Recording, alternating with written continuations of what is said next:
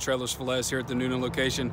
Got another trailer video for you here today. Today we're going to look at a 7 by 16 carry-on uh, tandem axle utility uh, slash landscape trailer. Uh, this will be a quick video. There's not a whole lot to it, but we're just going to touch on some of the uses that it's used for and just a couple of the features that it has.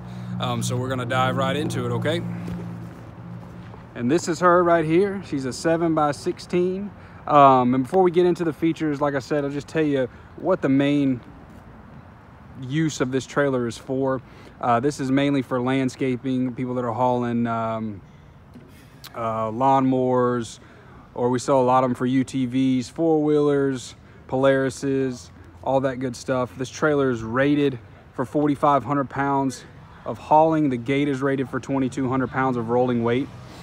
Um, so it's it, it, can be used for almost anything. I mean, you could haul furniture, whatever you want, but the main uses of what we sell it for is landscaping and people that are hauling four-wheelers and ATVs and stuff like that. Okay, so we'll come back here and we'll start with the gate. Of course, it's got a four-foot fold-down gate in the rear, which it's spring-assisted. It has two, uh, two springs on the back corners uh, to make it spring-assisted, so it's not gonna break your back letting the trailer down. It's very simple, very light um, picking it up and lowering it down. Uh, there's got two latch assemblies on each side of the trailer that you just pull the pin out and the gate lets down.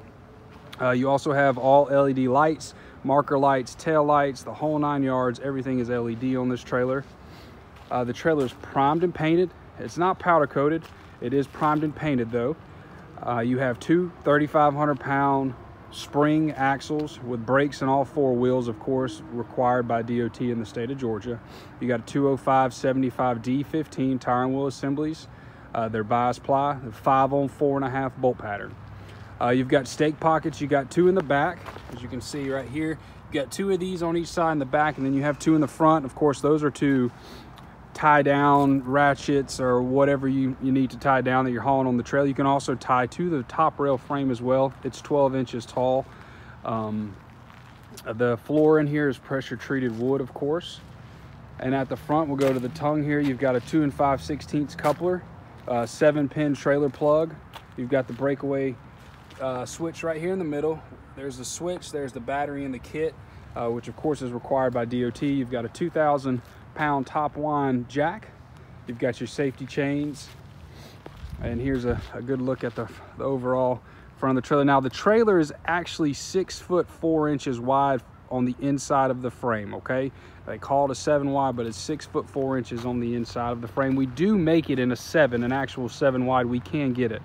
We can also get this trailer uh, with two foot mesh sides or two foot steel sides uh, if you're interested in that as well. We usually keep the mesh sides in stock. This And this trailer comes in and a tandem axle as short as we carry is a 6 by 12 and then we can get it all the way up into a 20 22 foot uh, if needed and so yeah that's a look at the 7 by 16 carry-on utility trailer uh, you could find them here at the Newnan location 1137 Highway 16 East, Newnan, Georgia.